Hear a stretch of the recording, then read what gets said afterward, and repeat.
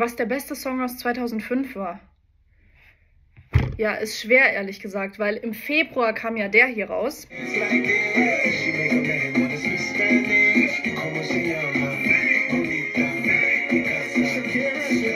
Und dann kam im März der hier.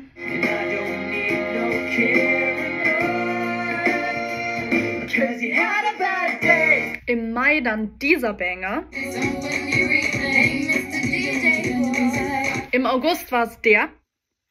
I'm through standing in line, the clubs I'll never get in. It's like the bottom of the night, man, I'm never gonna win. Im September dann der hier. Check it out, I'm driving stuff is crazy. I do it on the day, like they treat me really nicely. They buy me all these ices. Und im Dezember dann nochmal der.